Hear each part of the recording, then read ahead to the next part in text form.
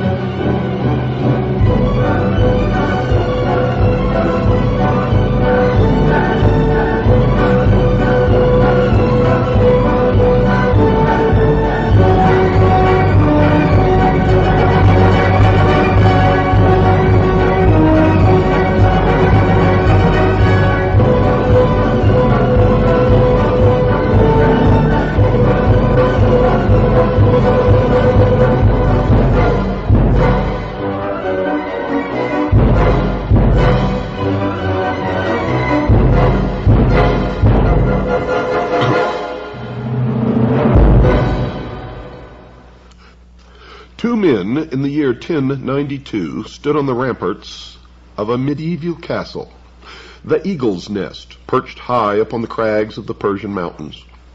The personal representative of the emperor, and the veiled figure who claimed to be the incarnation of God on earth, Hassan, son of Sabah, sheik of the mountains and leader of the assassins, spoke. Quote, you see that devotee standing guard on yonder turret top? Watch, unquote. He made a signal. Instantly, the white-robed figure threw up his hands in salutation and cast himself two thousand feet into the foaming torrent which surrounded the fortress. I have seventy thousand men and women throughout Asia, and each of them ready to do my bidding. Can your master, Malik Shah, say the same? And he asked me to surrender to his sovereignty? This is your answer. Go. Now, such a scene may be worthy of the most exaggerated of horror films, and yet it took place in historical fact. The only quibble made by the chronicler of the time was that Hassan's devotees numbered only about 40,000.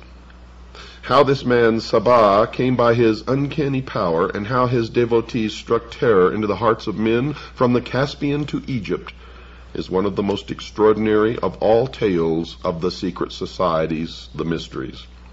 Today, the sect of the Hashishin, our druggers, still exists in the form of the Ismailis, our Ishmaelites, whose undisputed chief, endowed by them with divine attributes, is the Aga Khan. Like many another secret cult, the assassin organization was based upon an earlier association. And in order to understand how they worked and what their objectives were, we must begin with these roots. It must be remembered, dear listeners, that the followers of Islam in the 7th century AD split into two divisions, the Orthodox, who regard Muhammad as the bringer of divine inspiration, and the Shias, who consider that Ali, his successor, the fourth Imam or leader, was more important. It is with the Shias that we are concerned here. From the beginning of the split in the early days of Islam, the Shias relied for survival upon secrecy, organization, and initiation.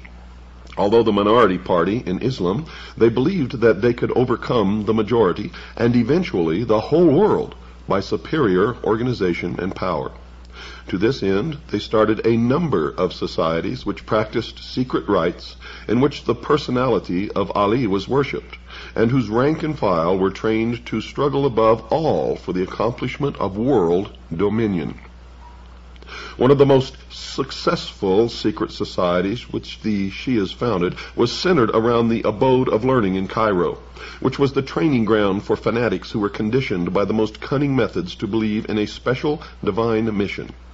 In order to do this, the original democratic Islamic ideas had to be overcome by skilled teachers acting under the orders of the Caliph of the Fatimites who ruled Egypt at that time. Members were enrolled on the understanding that they were to receive hidden power and timeless wisdom, which would enable them to become as important in life as some of the teachers. And you find these same precepts in every branch, in every nationality, on every continent where the mysteries prevail. The Caliph saw to it that the instructors were no ordinary men. The supreme judge was one of them. Another was the commander-in-chief of the army. A third, the minister of the court. There was no lack of applicants. In any country where the highest officials of the realm formed a body of teachers, one would find the same thing. Classes were divided into study groups, some composed of men, others of women, collectively termed assemblies of wisdom. All lessons were carefully prepared, written down, and submitted to the Caliph for his seal. At the end of the lecture, all present kissed the seal. For did the Caliph not claim direct descent from Muhammad through his son-in-law Ali, and thence from Ishmael, the seventh Imam? He was the embodiment of divinity, far more than any Tibetan Lama ever was. The university, lavishly endowed and possessing the best manuscripts and scientific instruments available, received a grant of a quarter of a million gold pieces annually from the Caliph. Its external form was similar to the pattern of the ancient Arab universities, not much different from Oxford, but its real purpose was the complete transformation of the mind of the student. Students had to pass through nine degrees of initiation, the same number that are claimed in the York Rite of Freemasonry. In the first, the teachers threw their pupils into a state of doubt about all conventional ideas, religious and political. They used false analogy and every other device of argument to make the aspirant believe that what he had been taught by his previous mentors was prejudiced and capable of being challenged. The effect of this, according to the Arab historian Makrizi, was to cause him to lean upon the personality of the teachers as the only possible source of the proper interpretation of facts. At the same time, the teachers hinted continually that formal knowledge was merely the cloak for hidden, inner, and powerful truth, whose secret would be imparted when the youth was ready to receive it. None ever questioned why no secret was ever put forth. This confusion technique was carried out until the student reached the stage where he was prepared to swear a vow of blind allegiance to one or other of his teachers. This oath, together with certain secret signs, was administered in due course, and the candidate awarded the first degree of initiation. The second degree took the form of initiation into the fact that the Imams, the successors of Muhammad, were the true and only sources of secret knowledge and power. Imams inspired the teachers, therefore the student was to acknowledge every saying and act of his appointed guides as blessed and divinely inspired. In the third degree, the esoteric names of the seven Imams were revealed, and the secret words by which they could be conjured, and by which the powers inherent in the very repetition of their names could be liberated and used for the individual, especially in the service of the sect. In the fourth degree, the succession of the seven mystical lawgivers and magical personalities was given to the learner. These were characterized as Adam, Noah, Abraham, Moses, Jesus, Mohammed, and Ishmael. There were seven mystical helpers Seth, Shem, Ishmael, Aaron, Simon, Ali, and Mohammed, the sons of Ishmael. This last was dead, but he had a mysterious deputy who was the Lord of the time, authorized to give his instructions to the people of truth, as the Ismailis called themselves. This hidden figure gave the caliph the power to pretend that he was acting under even higher instructions. The fifth degree named twelve apostles under the seven prophets, whose names and functions and magical powers were described. In this degree, the power to influence others by means of personal concentration was supposed to be taught. One writer claims that this was done merely by the repetition for a period of three years to train the mind of the magical word akzapti. To obtain the sixth degree involved instructions in the methods of analytical and destructive argument, in which the postulant had to pass a very stiff examination. The seventh degree brought revelations of the great secret that all humanity and all creation were one and every single thing was a part of the whole, which included the creative and destructive power, the androgynous God. But as an Ismaili, the individual could make use of the power which was ready to be awakened within him and overcome those who knew nothing of the immense potential of the rest of humanity. This power came through the aid of the mysterious power called the Lord of the Time.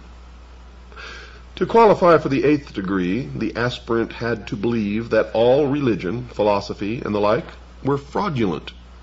All that mattered was the individual, who could attain fulfillment only through servitude to the greatest developed power, the Imam. The ninth and last degree brought the revelation of the secret that there was no such thing as belief, all that mattered was action, and the only possessor of the reasons for carrying out any action was the chief of the sect. As a secret society, the organization of the Ismailis, as outlined above, was undoubtedly powerful and seemed likely to produce a large number of devotees who would blindly obey the orders of whomever was in control of the edifice. But as with many other bodies of this kind, there were severe limitations from the point of view of effectiveness. Perhaps the phase of revolt or subversion planned by the society did not in the end get under way. Perhaps it was not intended to work by any other means than training the individual. Be that as it may, its real success extended abroad only to Baghdad in 1058, where a member gained temporary control of Baghdad and coined money in the Egyptian caliph's name.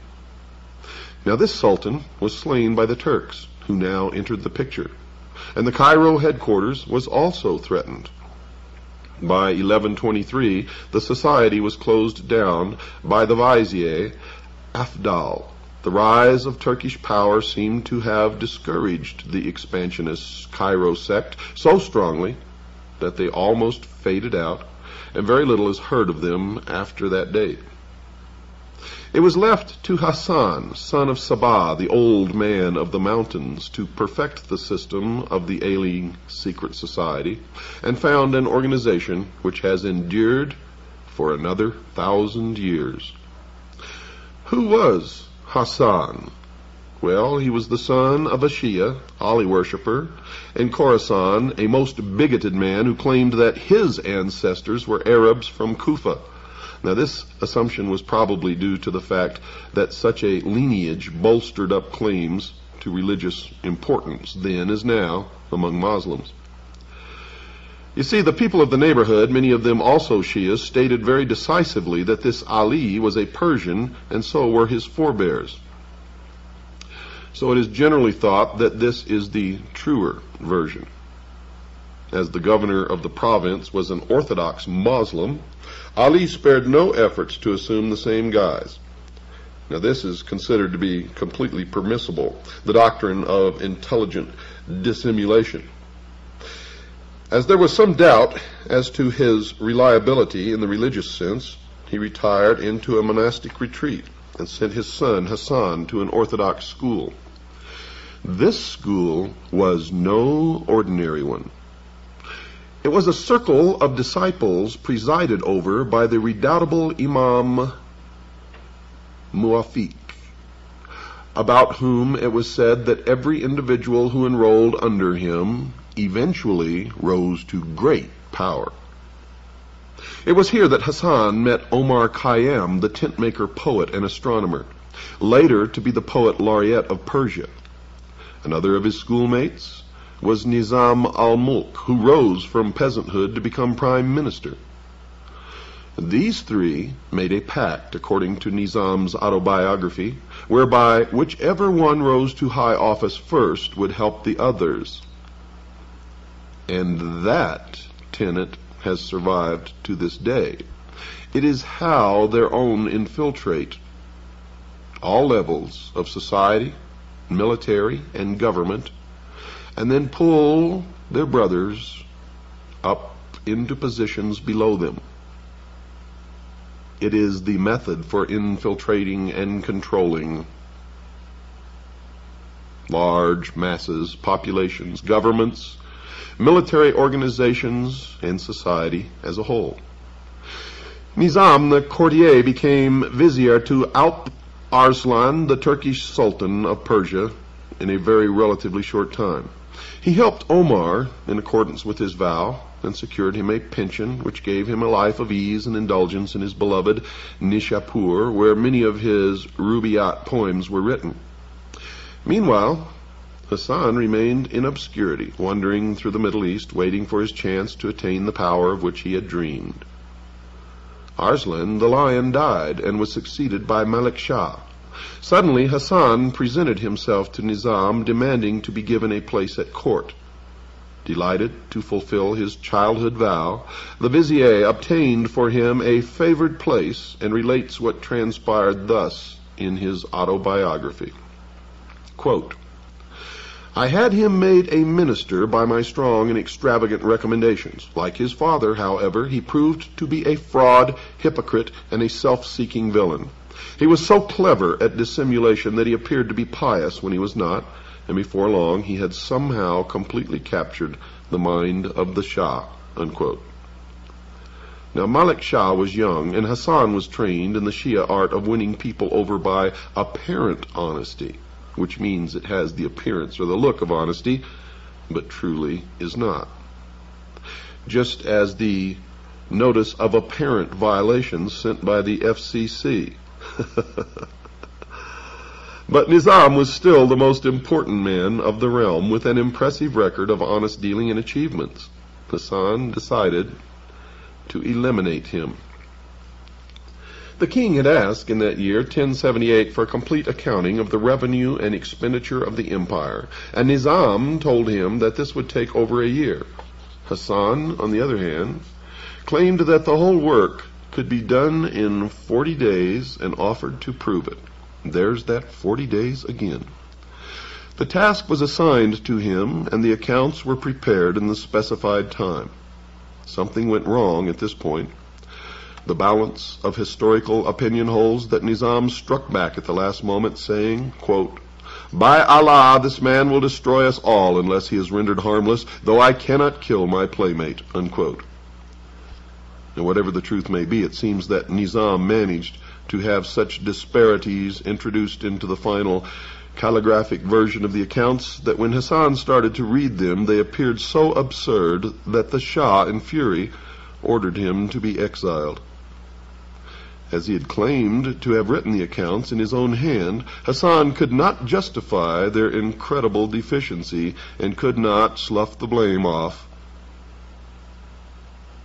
upon his friend. Hassan had friends in Isfahan, where he immediately fled. There survives a record of what he said there, which sheds interesting light upon what was in his mind. One of these friends, Abu al-Fazal, notes that Hassan, after reciting the bitter tale of his downfall, shouted these words in a state of uncontrollable rage. Quote, if I had two, just two devotees who would stand by me, then I would cause the downfall of that Turk and that peasant. Unquote. Fazal concluded that Hassan had taken leave of his senses and tried to get him out of this ugly mood. Hassan took umbrage and insisted that he was working on a plan and that he would have his revenge.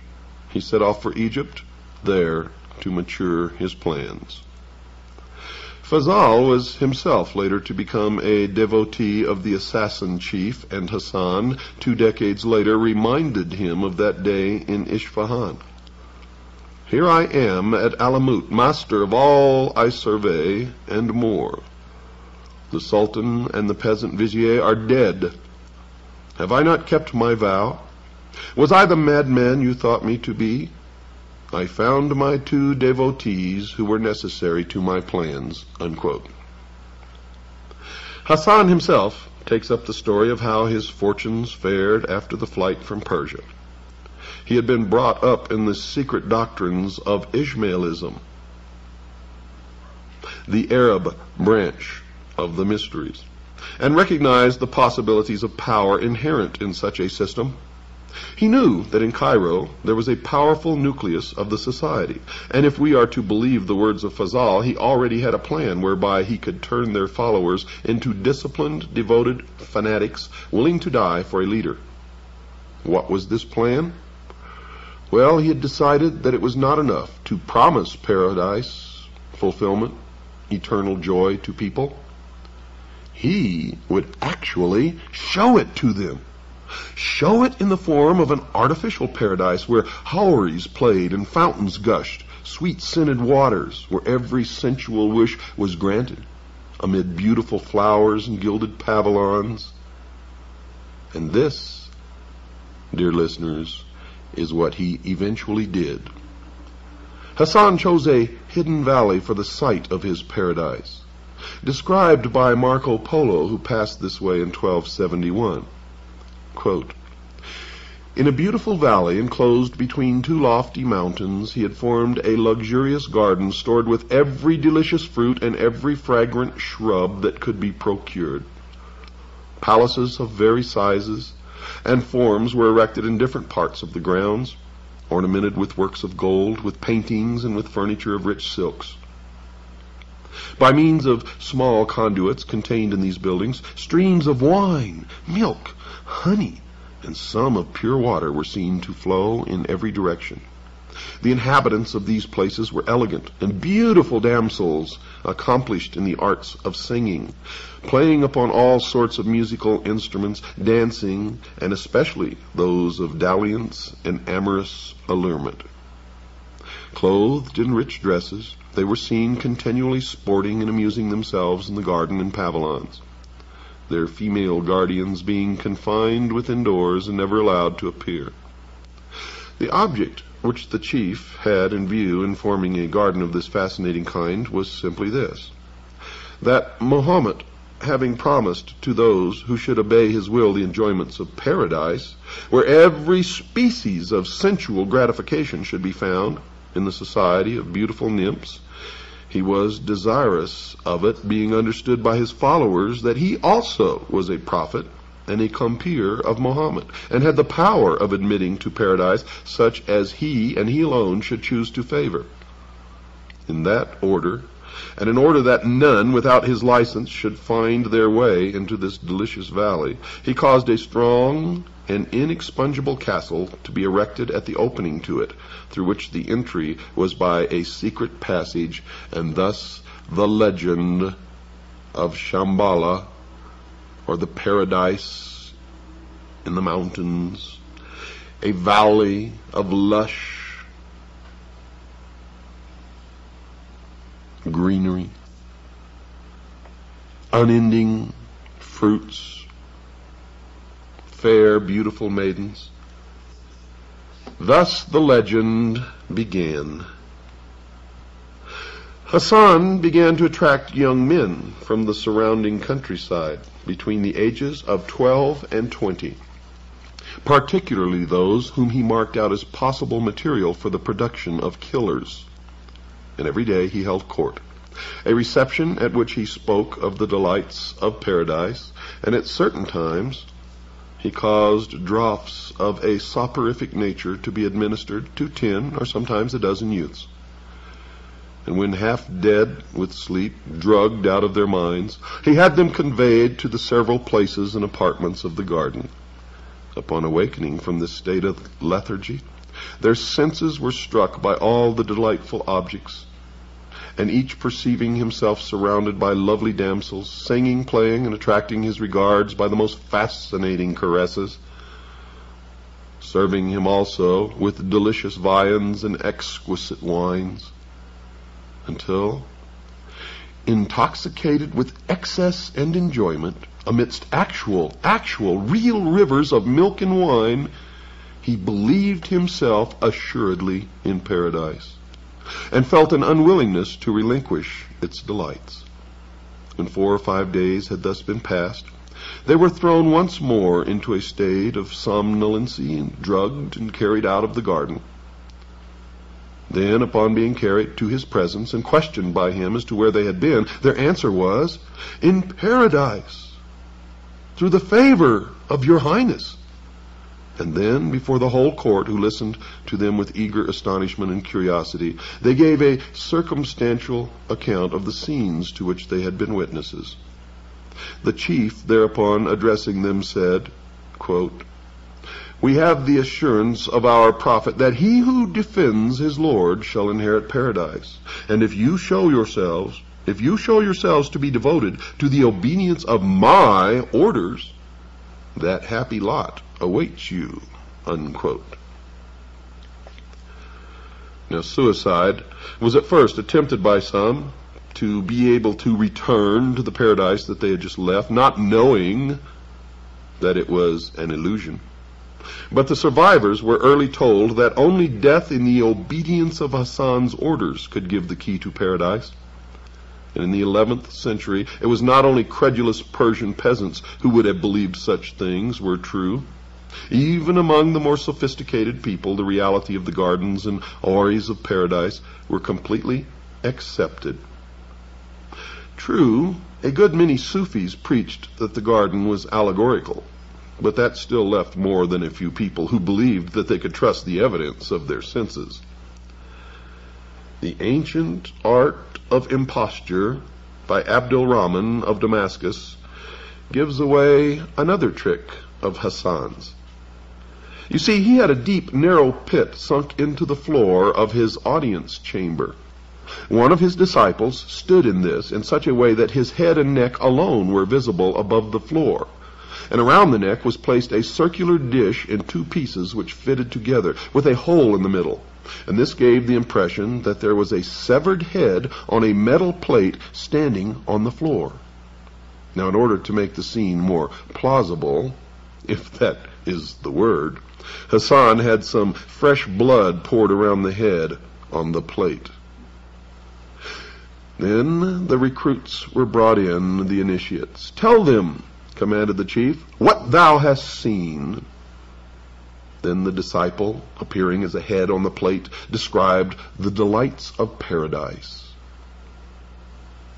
Quote, you have seen the head of a man who died, whom you all knew. I have reanimated him to speak with his own tongue, unquote. And then he would really sever treacherously the man's head in real earnest, and stuck for some time somewhere that the faithful would see it. And the effect of this conjuring trick, plus murder, increased the enthusiasm for martyrdom to the required degree, and gave him unbelievable control over his flock. There are many documented instances of the recklessness of the Fidayeen devotees of the Ismailis, one witness being a Westerner who was treated a century later to a similar spectacle to that which had appalled the envoy of Malik Shah. But we've got to take a break first, folks. Don't go away. I'll be right back after this very short pause.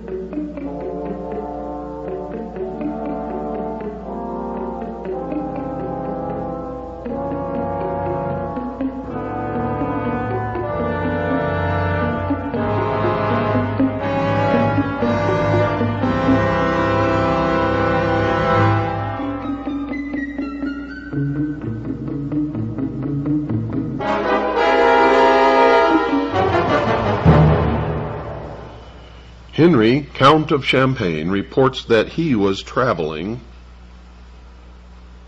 in 1194 through Ismaili territory. Quote, the chief sent some persons to salute him and beg that on his return he would stop at and partake of the hospitality of the castle. The count accepted the invitation. As he returned, the Dai el Kibir, our great missionary, advanced to meet him showed him every mark of honor, and let him view his castle and fortresses.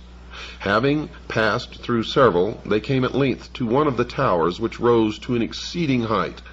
On each tower stood two sentinels clad in white. These, said the chief, pointing to them, obey me far better than the subjects of your Christians obey their lords. And at a given signal, two of them flung themselves down and were dashed to pieces. If you wish, said he, to the astonished count, all my white ones shall do the same. The benevolent count shrank from the proposal and candidly avowed that no Christian prince could presume to look for such obedience from his subjects. When he was departing with many valuable presents, the chief said to him meaningly, By means of these trusty servants, I get rid of the enemies of our society. Unquote. Now, further details of the mentality of Hassan are given in what is supposed to be an autobiographical account of his early days. And it probably is, in fact, such because the method of his conversion does seem to follow the pattern which has been observed in fanatics of whatever religious or political persuasion. He was, he says, reared in the belief of the divine right of the imams by his father. He early met an Ismaili missionary, Emir Dareb, with whom he argued strenuously against the Emir's particular form of the creed. Then, some time later, he went through a bout of severe illness in which he feared to die and began to think that the Ismaili doctrine might really be the road to redemption and paradise. If he died unconverted, he might be damned. Thus it was that as soon as he recovered, he sought out another Ismaili propagandist, Abu Najam, and then others. Eventually, he went to Egypt to study the creed at its headquarters. He was received with honor by the Caliph due to his former position at the court of Malik Shah. In order to increase their own importance, the high officials of the court made a good deal of public play of the significance of the new convert, but this fact seemed in the end to help Hassan more than it did them. He entered into political intrigue and was arrested, then confined in a fortress. No sooner had he entered the prison than a minaret collapsed and in some unexplained way this was interpreted as an omen that Hassan was in reality a divinely protected person. The Caliph, hurriedly making Hassan a number of valuable gifts, had him put aboard a ship sailing for northwest Africa. This gave him the funds which he was to use for setting up his paradise, and also, through some quirk of fate, the disciples whom he sought. A tremendous storm blew up, terrifying the captain, crew, and passengers alike. Prayers were held, and Hassan was asked to join. He refused. Quote, the storm is my doing. How can I pray that it abate? Unquote, he asks. And then says this, quote, I have indicated the displeasure of the Almighty. If we sink, I shall not die, for I am immortal. If you want to be saved, believe in me, and I shall subdue the winds. Unquote. Well, at first, the offer was not accepted. Presently, however, when the ship seemed on the point of capsizing, the desperate passengers came to him and swore eternal allegiance. Hassan was still very calm, and continued so until the storm abated. The ship was then driven on to the seacoast of Syria, where Hassan disembarked together with two of the merchant passengers who became his first real disciples. Hassan was not yet ready for the fulfillment of his destiny as he saw it for the time being. He was traveling under the guise of a missionary of the Caliph in Cairo. From Aleppo he went to Baghdad seeking a headquarters where he should be safe from interference and where he yet could become powerful enough to expand. Into Persia the road led him, traveling through the country, making converts to his ideas, which were still apparently strongly based upon the secret doctrines of the Egyptian Ismailis. Everywhere he created a really devoted disciple, Arfidei. He bade him stay and try to enlarge the circle of his followers. These circles became hatching grounds for the production of self-sacrificers, the initiates, who were drawn from the ranks of the most promising ordinary converts. Thus it was that miniature training centers, modeled upon the abode of learning, were in being within a very few months of his return to his homeland.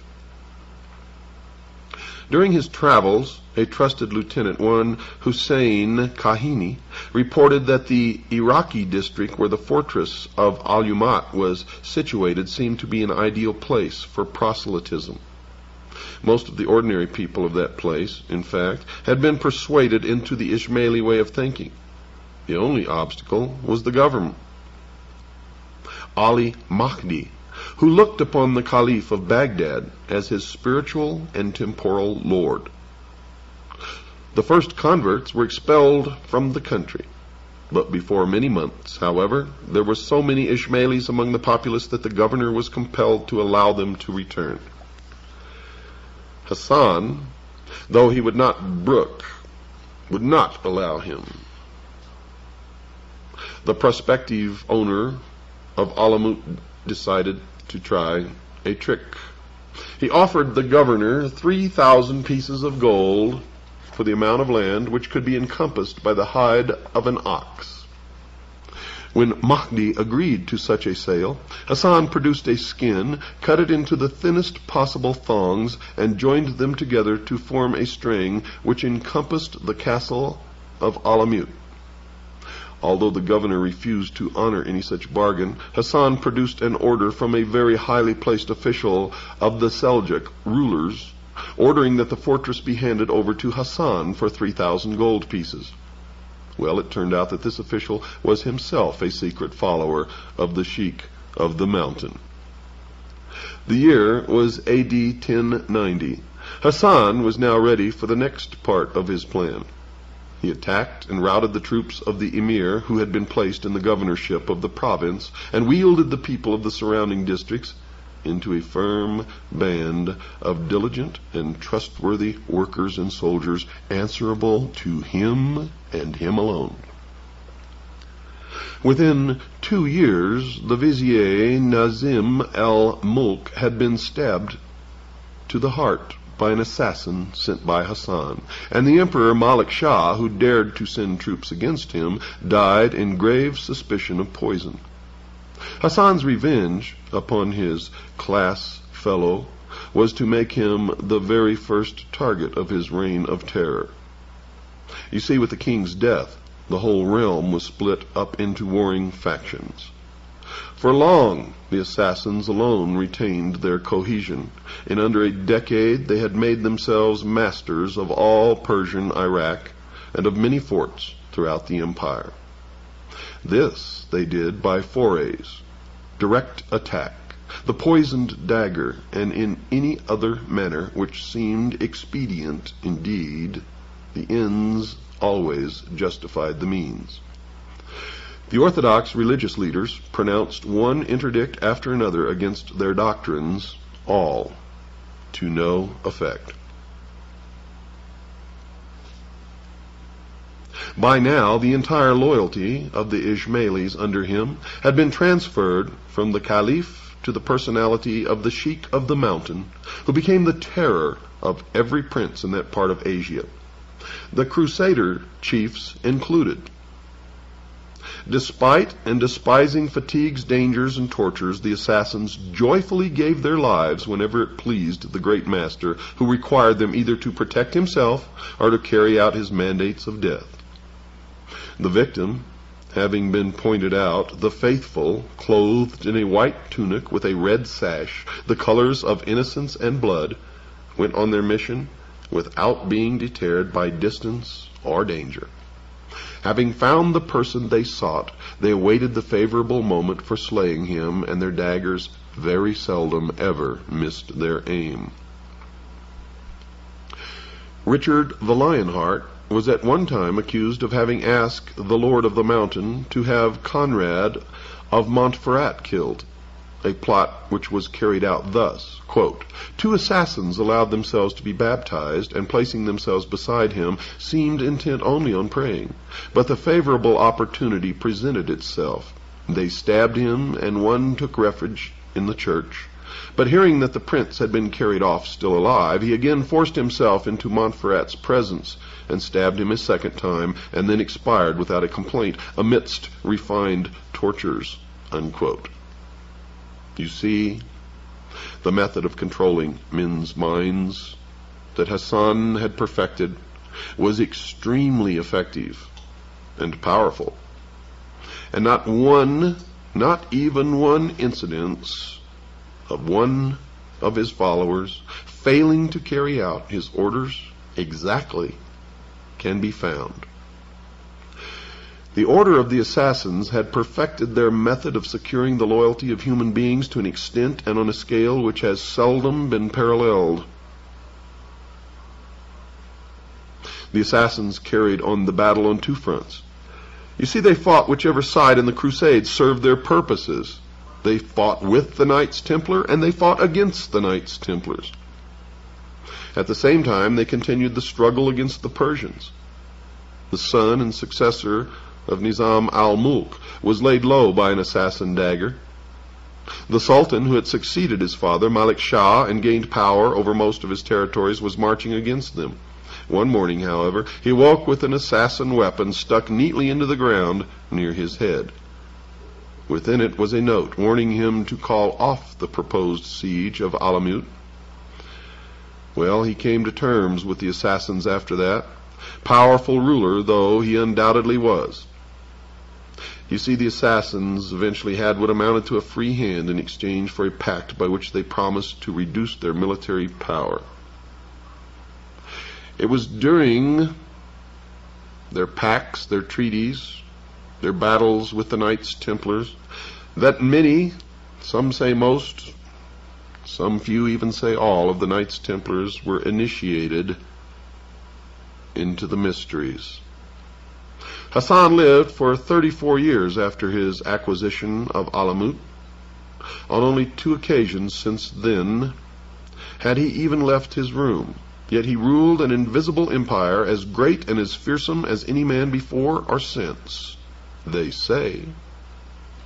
But his empire may still exist today, changed and melded with other sects of the mysteries.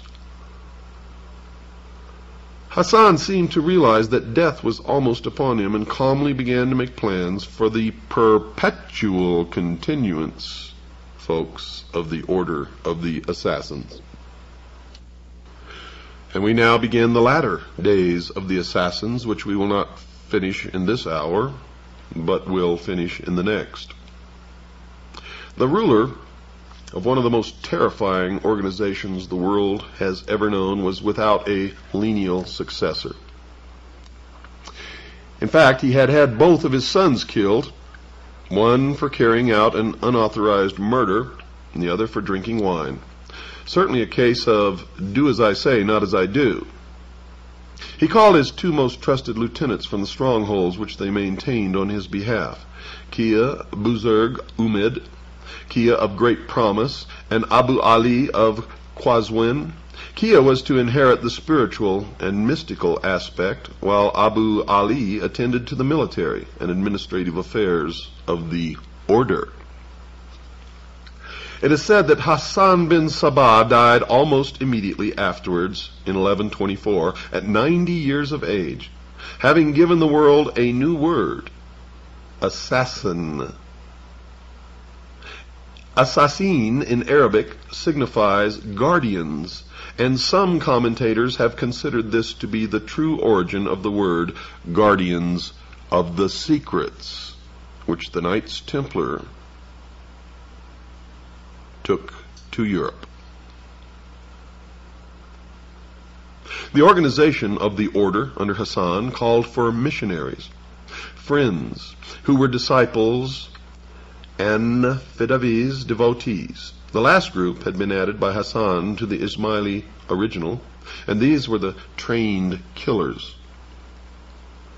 Fidavis wore white with a girdle cap or boots of red. In addition to careful coaching in where and when to place the dagger in the victim's bosom, they were trained in such things as languages, the dress and manners of monks, merchants, and soldiers, any of whom they were ready to impersonate in carrying out their mission. The chief was known as Sayedna, which means our prince or leader, and popularly, because of the mountain stronghold of Alamut, as the Sheik of the mountain. Now Alamut, or the stronghold on the mountain, was also known as the Eagle's Nest. And this is what Hitler named his mountain retreat. And there's also an eagle's nest near Santa Barbara, California, which very few people know anything about yet. Now, the Sheik of the Mountain is the figure referred to in Crusaders' writings as Sidney, or Senex de Monte, the first word being a literal translation of the word pir, Persian for ancient or sage. There were three great missionaries who ruled three territories. After the Friends and Fidavis came to the Laziks, aspirants who were being trained for membership of the society but were as yet uninitiated. Hassan reduced the original number of degrees of initiation from nine to the mystical number of seven. A similar number of regulations formed the rules of the order. This, in fact, comprised the working plan of the spreading of the faith. The first rule was that the missionary must know human psychology in such a way as to be able to select suitable people for admission to the cult, and was summed up in the mnemonic quote, cast no seed upon rocks, unquote. The second rule of procedure was the application of flattery and gaining the confidence of the prospective member. Third came the casting of doubt into the mind by superior knowledge. Fourthly, the teacher must apply an oath to the student never to betray any of the truths which were to be revealed to him. Now he was told as the fifth stage that Ishmaelism was a powerful secret organization, supported by some of the most important figures of the time. After this, the aspirant was questioned and studied to discover whether he had absorbed the opinions of the teacher and attached himself sufficiently into a position of dependence upon his ideas. And at this stage, he was asked to meditate upon the meaning of the reported saying of the prophet that, quote, paradise lies in the shadow of swords, unquote. In the final degree, many difficult passages of the Quran were explained in terms of allegory. How is it that the rules of this extraordinarily successful order are known in such detail? Well, it so happened that when the Mongols eventually overthrew Alamut by force of arms, their chief, Halaku, meaning destruction, Khan, asked his chief minister to examine their library. This most learned man, father of kings, Jawani, later wrote a careful book in which he detailed the organization of the assassins, whose name he attributed to the use of the drug hashish, which they were said to use in stupefying candidates for the ephemeral visit to paradise. It is possible that recruits were made in another way than by selecting gullible, fully grown youths. Legend has it that Hassan, once master of Alamut, used to buy unwanted children from their parents and train them in implicit obedience and with the sole desire to die in his service. Buzurg Umid, meaning great promise, the second Grand Master, Grand Master is still used today, folks, maintained the power of the assassins on much the same pattern. Building new forts, gaining fresh converts, terrorizing those whom he did not want to have killed, and using them to further his design of world conquest. Sultan Sanjar of Persia, in spite of several expeditions against the Viper's Nest, as Alamut was now being called, could do little about him Viper's nest was the term given by the assassin's enemies. The assassins themselves called it the eagle's nest. Ambassadors on each side were slain. A notable religious leader was captured by the assassins, given a mock trial, and flung into a furnace. The Grand Master at this time seldom put on the field more than 2,000 men at a time. But it must be remembered that they were killers acting under an iron discipline, and more than a match for any organized army that they might ever have to face. Now the order began to spread in Syria, where the continued contact with the Crusaders was established.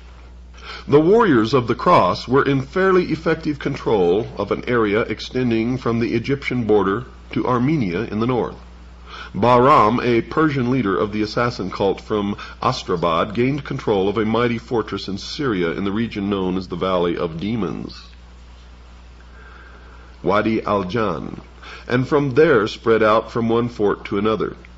The Grand Prior, Bahram, now moved to an even more substantial fortified place, Masyat, Bahram's successor, Ismail, the lash-bearer, planted a trained devotee on the saintly vizier of Baghdad, into whose confidence he worked his way to such an extent that this assassin, now called the Father of Trust, was actually made Grand Judge of Baghdad. The Crusaders had by now been about thirty years in the Holy Land, and the assassins decided that they could usefully form an alliance with them aimed against Baghdad. A secret treaty was therefore made between the Grand Master and Baldwin II, King of Jerusalem, whereby the Ishmaeli Grand Judge would have opened the gates of Baghdad treacherously to the Crusaders if the fortified city of Tyre were handed over to the assassins for their part in the transaction. Well, as with most plans, something went wrong. The judge had ordered an underling to open the city gates. This service had told the military commander of Damascus, who lost no time in killing the man, the vizier, and 6,000 people believed to be secret assassins within the city.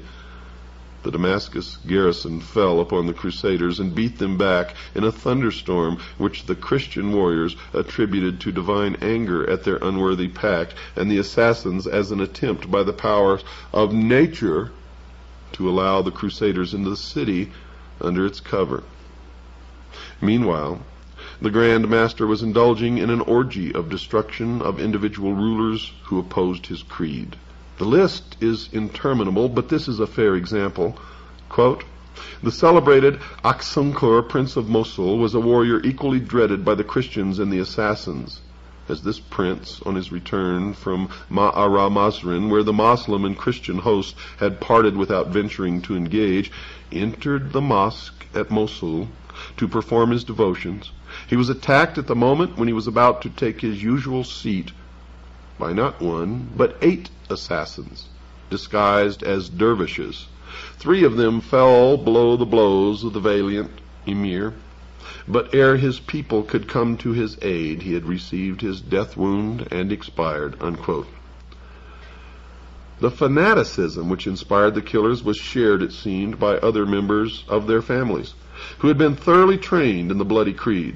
For the historian Kamal el-Din relates, on this occasion, when the mother of one of the youths who attempted Aksunkur's life heard that he had been slain, she painted her face and donned the gayest raiment and ornaments, rejoicing that her son had been found worthy to die the glorious death of a martyr in the cause of the Imam.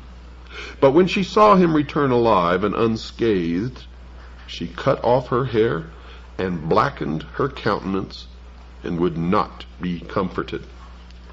Things thus continued for the fourteen years and a quarter of the second Grand Master's rule when he died to nominate his son Kia Muhammad as his successor. Under Muhammad, the killings continued. A part of the seacoast of Palestine came into assassin hands, and the cult leaders reaffirmed their overly belief in Orthodox Islam. In public, Ismailis were ordinary Muslims. The secret doctrine of the divinely guided leader was not to be discussed with the uninitiated. Don't miss tomorrow night's show. Good night, and God bless each and every one of you.